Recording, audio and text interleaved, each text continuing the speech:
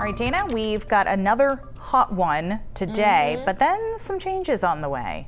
I know, I feel a little bit like a broken record at this point, just kind of saying every day it's going to be hot and humid, but there is light at the end of the tunnel. We have some much more refreshing air coming in for the second half of the week. Okay, no complaints. Exactly. High temperatures today. A lot of us got into the upper 80s and lower 90s. We got to 90 in Portland, 92 in Sanford, 91 over in Fryeburg. And the dew point once again has been front and center in the forecast. Dew points right now it's still in the upper 60s to lower 70s. And eventually this will start to change a little bit, but we'll have one more day of some more hot and humid weather. Now, because of the heat indexes being a bit warm out there today, we do have a heat advisory once again in effect in these orange colors here, and this is in effect until 8 p.m. this evening.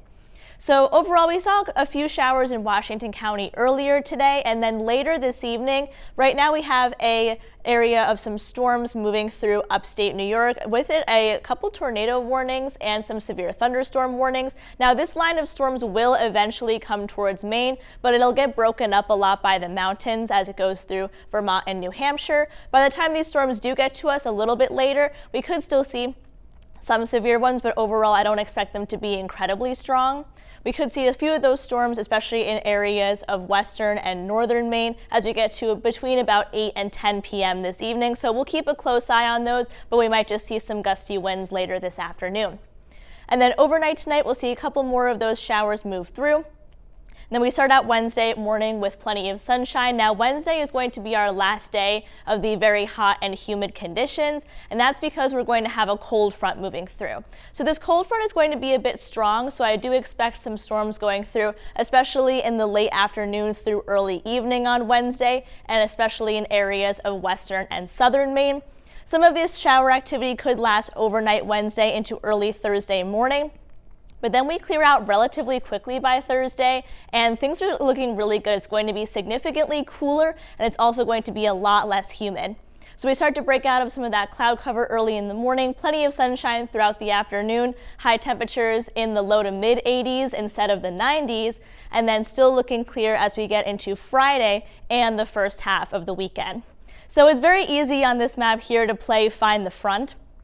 Essentially, when it's going to go through late Wednesday night, that's when we're going to see a significant drop in our dew point temperatures going from muggy and humid down into much more comfortable air for the rest of the week. Same with that hot and humid stretch coming to an end. One more day of very warm weather tomorrow, and then temperatures will still be above average, but in the low to mid 80s as opposed to getting into the 90s every day. Marine forecast sees 2 to 5 feet, water 64 degrees. So if you have not been enjoying this hot and humid weather, we are going to start to get that change moving in. So tomorrow temperatures once again still in the upper 80s to lower 90s, humid with the chance of those afternoon thunderstorms and into the early evening. And then that cold front will go through Wednesday night into early Thursday. A few of those showers might linger in early Thursday morning, especially areas of northern and eastern Maine but we clear out pretty well by the time we get into the afternoon. So Brian and Amanda, if you're excited for some more refreshing air, Thursday and Friday are your days. Those look great. Nice yeah, to see do. the big drop in the chart on the humidity. I know, That'll it's such like good. a visual way of yes. putting it. I'm like, find the front, very easy. very clear. All right, Dana, thanks.